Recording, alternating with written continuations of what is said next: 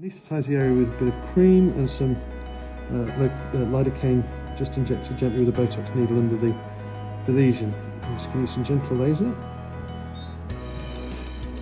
It's calibrated. Just protect the eye. You feel that at all? No. Good.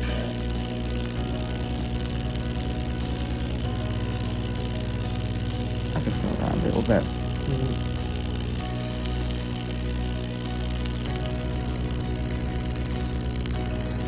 We'll just work our way along the lesion, slowly removing all these fat cells.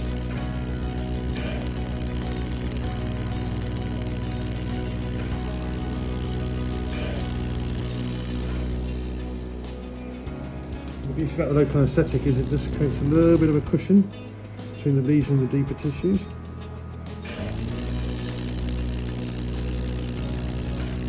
We'll just turn the power down a little bit as we get to the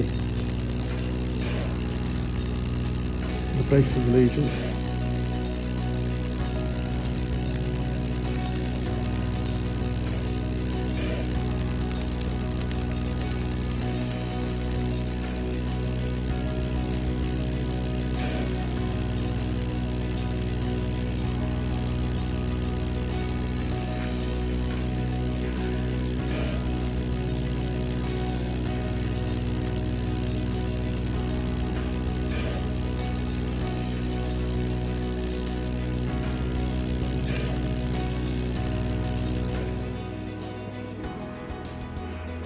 Using a saline soaked wipe, we just gently brush the tissues.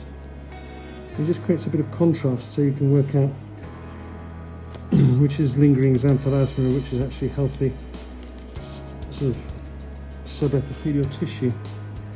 Not always that easy to tell the difference because it's after moistening the tissues a little bit you get a sense of where there's still work to be done. I'm desperately keen to avoid going too deep.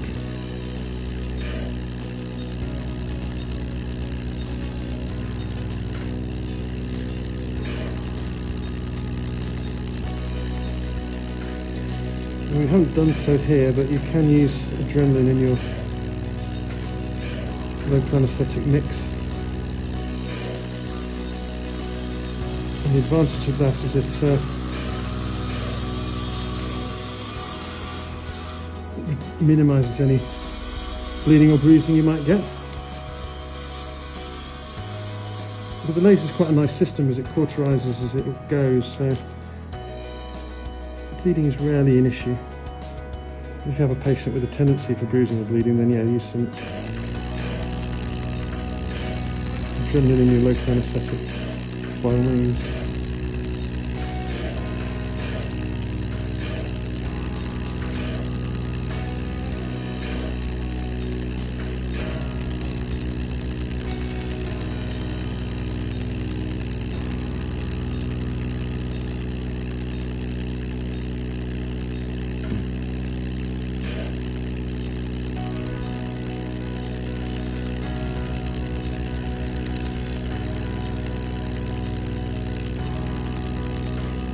Recently,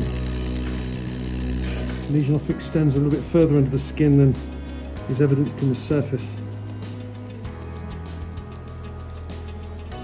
It heals so quickly and so forgivingly that definitely worth extending your margins just a little bit.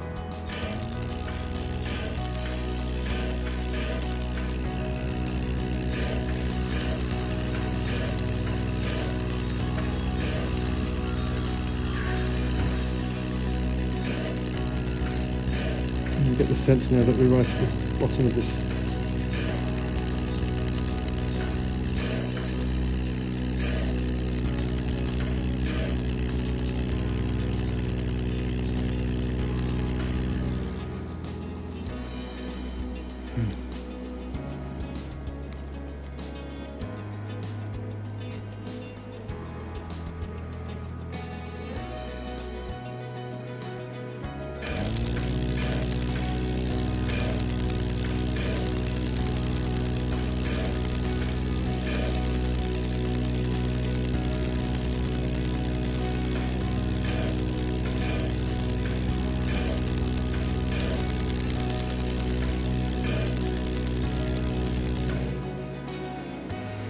Think this is about as far as we dare take it.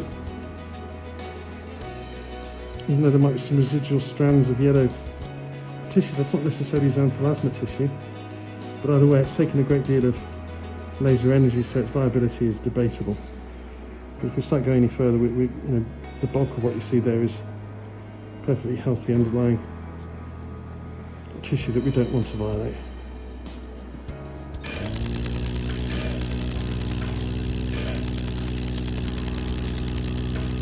Sometimes just can't help yourself.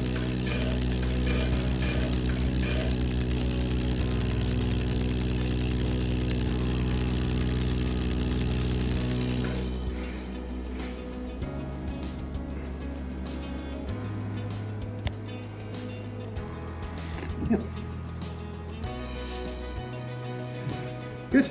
Okay.